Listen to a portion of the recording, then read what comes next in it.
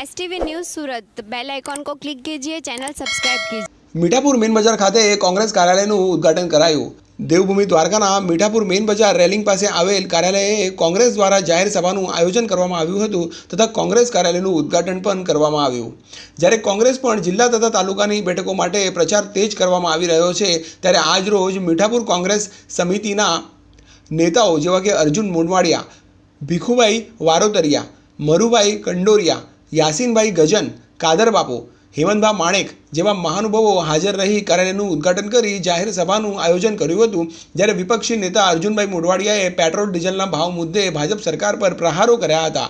Reporter Ali Shingadiya, Devbhumi Dwarka STV news આગામી જિલ્લા પંચાયત અને તાલુકા પંચાયતની ચૂંટણીના અનુસંધાનમાં આપણે જ્યારે મળ્યા છીએ ત્યારે મંચસ્થ બધા આગેવાનો અને આપણા તાલુકા અને જિલ્લાના ઉમેદવારો, આપ બધા વડીલો, મિત્રો, માતાઓ અને બહેનો, લોકશાહીમાં ચૂંટણી એક પ્રક્રિયા છે અને દર પાંચ વર્ષે ચૂંટણી આવતી હોય છે. એ અનુસંધાનમાં અઠ્ઠાવીસ તારીખે જિલ્લા પંચાયત અને તાલુકા પંચાયતની ચૂંટણી છે. ગયા વખતે જિલ્લા પંચાયતમાં યાસીનભાઈ અને હું ચૂંટણી લડ્યા હતા.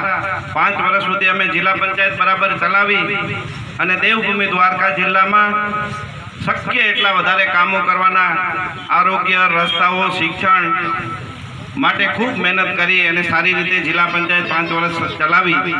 આ વખતે અમે વિચાર્યું કે કોંગ્રેસ પક્ષમાંથી બીજા લોકો આગળ આવે અને એને આપણે બધા મત અને મદદ કરી અને એને લડાવી.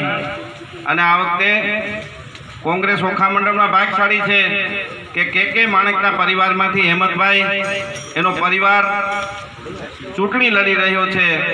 અને કે કે માણેકને અમે એટલા માટે યાદ કરી આ વિસ્તાર એટલા માટે યાદ કરે કે લીલાબેન ત્રિવેદી જ્યારે ધારાસભ્ય હતા, ત્યારે ગુજરાતમાં સૌથી વધારે સાથણીની જમીન દ્વારકા તાલુકામાં કે કે માણેકે અપાવી હતી. સૌથી વધારે. તમારે જોવું હોય તો જોઈ લેજો, ચેક કરી લેજો. સૌથી વધારે ગુજરાતમાં ઘરફાળના પ્લોટ અપાયા હતા. કે કે માણેકના વખતના રેકર્ડ છે. હું જિલ્લા પંચાયતમાં પચીસ વર્ષ પચીસ વર્ષથી છું. એટલે મને ખબર છે, આ તળાવમાંથી ટાટા કંપનીને પાણી મળે, એટલે જિલ્લા પંચાયતમાંથી એગ્રીમેન્ટ પણ કે કે માણેકે કરાવી આ વિસ્તારના વિકાસના એ આધાર સ્તંભ હતા. અને એ વિચારધારા કોંગ્રેસની વિચારધારા હતી.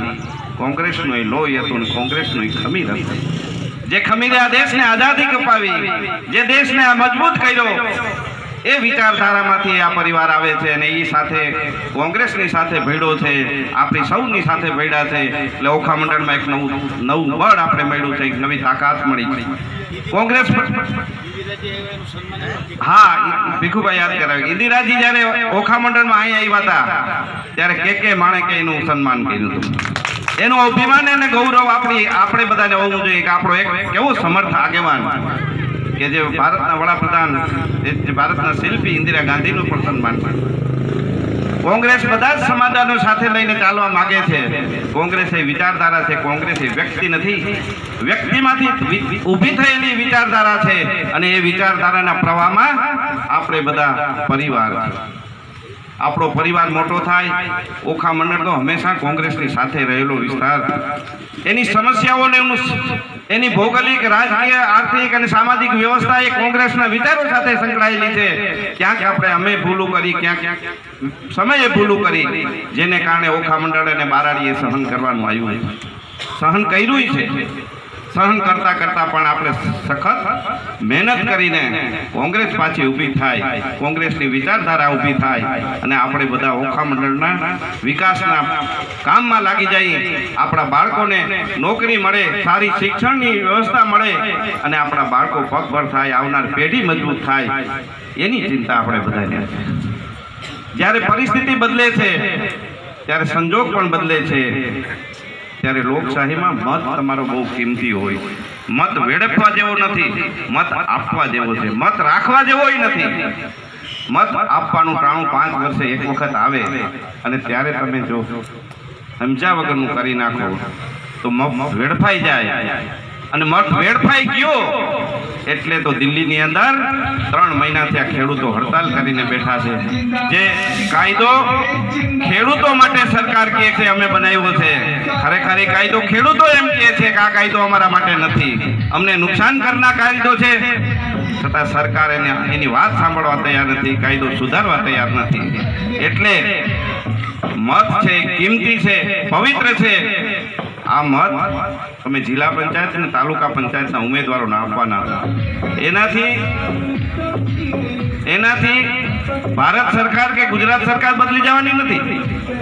પણ તમારો મત જો એની વિરુદ્ધ જશે અને કોંગ્રેસની ફેવરમાં જશે, તો દિલ્હીમાં બેઠેલા લોકોને ખબર પડશે કે ઓખા મંડળના લોકો પણ મને હવે ઈચ્છતા નથી. અમે ક્યાંક ભૂલું કરીશું.